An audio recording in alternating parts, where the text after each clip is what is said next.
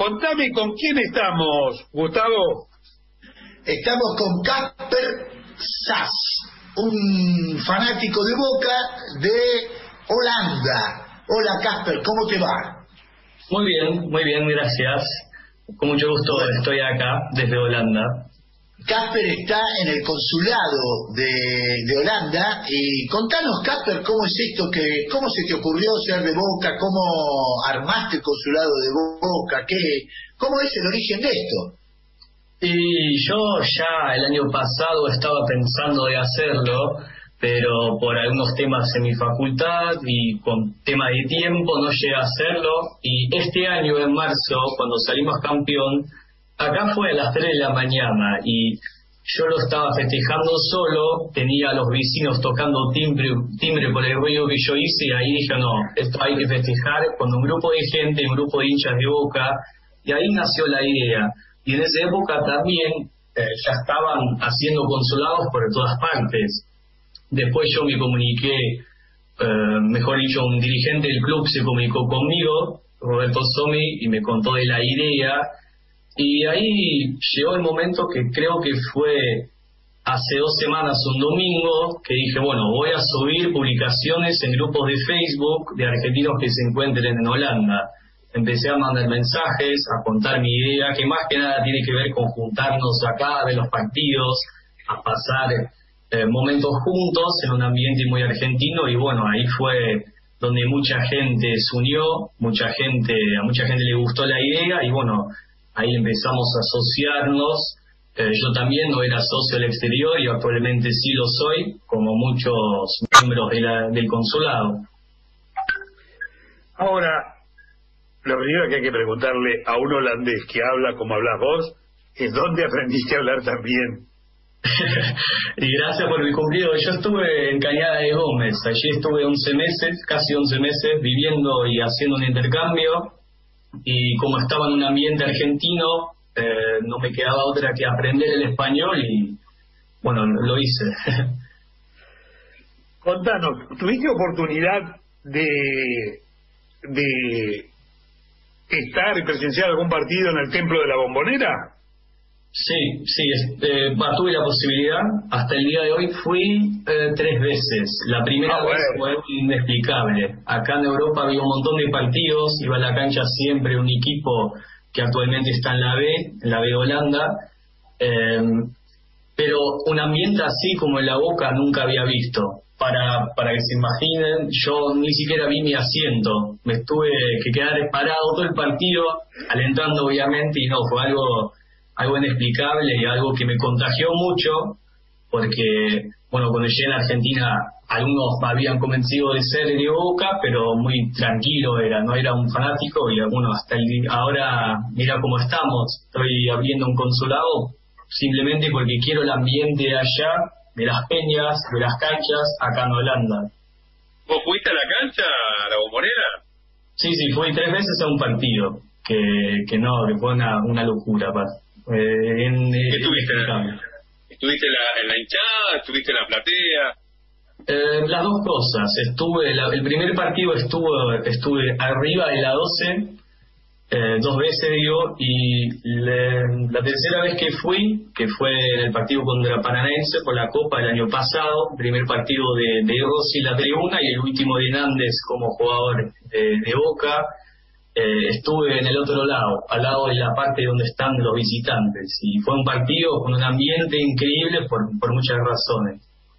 O sea, vos podrías afirmar que la bombonera late y que el que pasa por la bombonera le es muy difícil no terminar siendo pincha de boca. Y es lo que me pasó a mí y es como eh, eh, te contagia, es algo muy especial porque hay muchos equipos que por ahí juegan más lindo acá en Europa, pero no tienen la pasión que tiene la gente. Yo fui a algunas canchas en Argentina y por todo el mundo y como decía, lo que vi ese día y varios días en la bombonera es algo inexplicable. Eh, fue la cancha Madrid y allí hablaba con gente de Argentina que, vendió su casa, su auto y que estaba sin trabajo, igual se fue a alentar a Boca. Es algo que no se ve en ningún lado. El fútbol en Holanda es parecido, me imagino, al resto de los países de Europa donde el ambiente se parece más a un teatro que lo que nosotros conocemos como una cancha de fútbol, ¿no? Claro. Para mí el mayor problema acá es que la gente va eh, para ver el fútbol. Va para ver el fútbol y para estar viéndolo. Mientras yo muchas veces en Argentina ni siquiera vi una pelota. Cuando iba a la, la cancha local no se veía el partido. Y acá hay mucha gente, por ejemplo, directores de bancos, de escuelas, que van a la cancha, pero que están allá muy formal por el simple hecho que cumplen una función alta, mientras allá no importa si estás en palco en la 12 o donde sea, le entras como todos. Y es algo que tiene que ver con la gente. Mirás a la Copa del Mundo y están 30.000 argentinos, con un ambiente como si fuera un partido que se estaba jugando en Buenos Aires. O sea que la pasión es lo que te convoca, digamos, es lo que, digamos, que se use como, como ciudadano holandés que decís, esto es lo que yo querría, eh, esa, cómo se vive el fútbol en esta región, o en particular en, en Argentina y en Boca, ¿no? Claro, o sea, en general Latinoamérica tiene una cultura muy apasionada tanto con la política como el fútbol, como la música, sea lo que sea, Después está Argentina en sí, que para mí supera a los otros países, pero para mí en Boca hay una pasión inexplicable. Que, que Boca llena una cancha antes de irse a jugar una final y que hay 50.000 personas adentro y la misma cantidad de gente afuera para una práctica, para mí significa mucho. Que la gente que se va a todos lados, que siga a Boca, que en menos que 10 días se puede levantar un consulado por el apoyo que tiene la gente al club, o sea, la manera de amar eh, a un club, es impresionante. Y yo lo que vivo acá es que tengo holandeses en el grupo, miembros, que eran simpatizantes. El sábado pasado nos juntamos y se nota que la gente se acerca al club a veces de solamente conocer el club, ver unos videos en YouTube, ahora se ponen a, o sea, aprenden jugadores, canciones, hacen muchas preguntas a los argentinos y directamente se acercan hacia el club. Somos un virus, un virus benigno, digamos. Una vez que te, te, atrapa este virus este, de boca, es como que te contagia y no podés este, sacártelo de encima. Digamos, haciendo una, una parodia de algo que es bastante grave, pero para poner una cuota de, de, alegría a estas a esto que estás contando, porque realmente es como que no vivieron como vos en Argentina, no fueron a la cancha, o sea que lo ven todo a través de los videos, ¿no? Claro, y es algo que, que para nosotros es inexplicable, ese ambiente que hay, todo el partido, se puede explicar. Yo el sábado lo expliqué a mis amigos acá, los amigos holandeses, pero es algo que uno tiene que vivir y es la, ambición de todos. Casi todos con los que estuve hablando me decían lo mismo, quiero ir a la bombonera. Si es contra el River o contra los da igual. El hecho de tener que vivir ese ambiente, esa cosa única que tiene el fútbol mundial, eh, la quiere vivir y es algo que podemos y esperemos realizar. Yo pido disculpas porque estaba con la computadora y por algún problema que no conozco demasiado muy bien, tengo, tuve que venirme al celular. Te iba a preguntar de qué cuadro sos vos, Casper. Eh, yo soy de NI6, un equipo bastante chico que actualmente está en la B. Eh, antes cuando yo iba a la cancha, que fue antes de irme a la Argentina, ahí jugaban en la A pero bueno, se descendieron y no, ahora que estoy viviendo un poco más lejos de la cancha no voy más y también eso tiene que ver con lo que vivía allá. Fui a partidos de básquet en una cancha donde entran unos 2.000 personas, mientras estaban 3.000 con una, un ambiente increíble y ahí dije, no, no quiero ir más a una cancha casi vacía, donde no se alienta, donde no se canta y donde se juega mal es algo que, que no voy a hacer. Es demasiado. Sí, claro, o sea, no tiene, no tiene sentido. Una vez que uno va a la bombonera y se hace hincha de boca, no hay otro equipo. Es imposible porque no sentís lo mismo. Y bueno, es algo que de a poco, o sea, que crece y crece. Yo miro todos los partidos, hay días que tengo que rendir y que juegue boca, o sea, la noche anterior, y yo me quedo lo paso de largo y después veo si rindo bien o no, pero por lo menos... Ahora, Gasper no es argentino, hay que aclararle a, a la que Gasper es holandés, estuvo 11 veces viviendo en Argentina y habla como si estuviera viviendo acá. Y la pasión es igual que si estuviera viviendo acá. Es algo, la verdad que debe haber muchos casos, no voy a decir uno, debe haber muchos casos porque Boca genera este, esta clase de pasión, pero tenemos a Gasper y es un placer tenerlo acá en el aire. Y contanos, eh, ¿cuál fue tu primer vínculo con Boca? O sea, vos viniste a Argentina y tomaste contacto con Boca o ya tenías idea? Y en realidad, antes de irme para allá, la organización del intercambio Web Argentina me comunicó con la familia de anfitrión unos dos meses antes. Yo me puse a hablar con lo que era mi hermano de anfitrión, mejor dicho, mi hermano argentino, y él tenía un amigo eh, que no hablaba en inglés, pero que sí me llamaba. Hicimos videollamada y estuvimos viendo el partido al City Boca, el que ganó Boca 0 a 4 ahí él me decía, bueno, hacete de boca, así sos de algún equipo. Y de esa manera me fui para allá. Me fui siendo hincha del equipo holandés, pero de a poco empecé a sentir más para el club. Empecé a, ver los partidos, a conocer los jugadores, ir a la Peña en Cañada de Gómez. Y de a poco eh, tenía mucha ganas de ir a la cancha. Siempre las tenía, pero ahí específicamente a la cancha de boca. Y es algo que cada vez sigue creciendo y no creo que un, día va a dejar de hacerlo, porque es algo que, tiene mucha importancia para mí y espero que, lo tendrán en futuro también. Habría que mencionar a ese pionero de tu hinchismo por boca.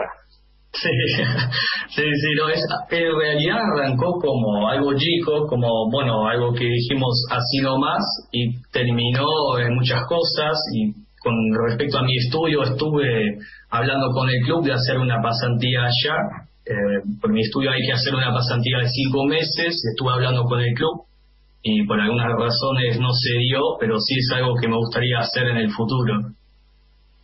Bueno, eso tenerlo en cuenta porque nosotros tenemos eh, hoy, eh, algunos de, nosotros somos representantes de representantes en el club e inclusive el tesorero actual de Boca, Carlos Montero, es miembro de nuestra agrupación, así que además tenés seguramente contacto con Martín, con el Chelo y con toda esa banda que está remando los consulados del exterior, así que todos ellos deciden que no se hagan los bobos, nosotros tampoco, que una mano te podemos dar acá. Dale, genial, muchas gracias.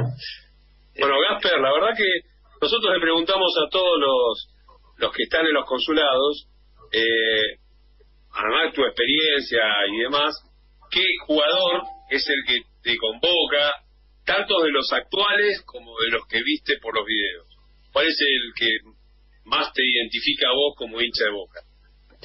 Mira, yo personalmente, yo tengo 20 años, no le vi jugando a Riquelme, eh, dándome cuenta lo bueno que era pero por más de los videos, lo que sí vi fue Tevez, eh, tuve la suerte de poder conocerle y me parece increíble que un jugador como él, que fue mundialmente un jugador muy importante y muy grande, siente esa pasión por el club, que volvió a Boca y que juegue, o sea, con la pasión que, tiene, para mí eso es un ejemplo, me gusta mucho eh, como sigue respetando su barrio, su, su pasado, y me parece algo que, muchos jugadores tendrían que hacer, jugadores que actualmente están en el nivel más alto del mundo y hacen cualquier cosa. Y me parece que Tevez es un ejemplo para Boca y algo que, que le da mucho nombre acá en Europa al club, porque no se pasan los partidos, si hay algo especial por ahí sí, pero Tevez es muy conocido y así tenemos a muchos jugadores que estuvieron allá, como bueno, de Rossi un tiempito nomás, pero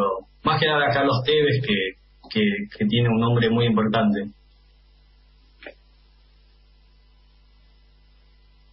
Bueno, quedamos mudos.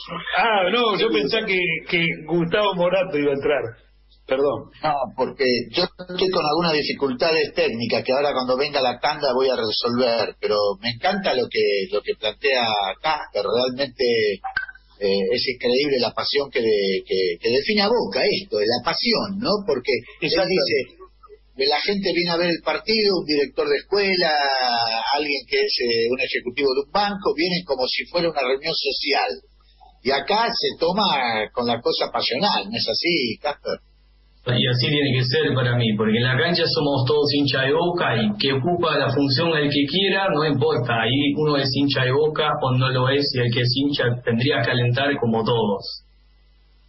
Bueno, Casper, vos sos, te, no, te vamos a nombrar eh, el presidente de los consulados, por tu pasión, por tu, este, no sé, tu, tu pasión directamente, no, no hay otra palabra para describir lo que vos sentís por boca, porque tuviste apenas 11 meses en Argentina, hablás como un argentino y sentís como un hincha de boca. Así que le damos la, la ciudadanía, te damos a la ciudadanía. Dale, bueno, perfecto, muchas gracias.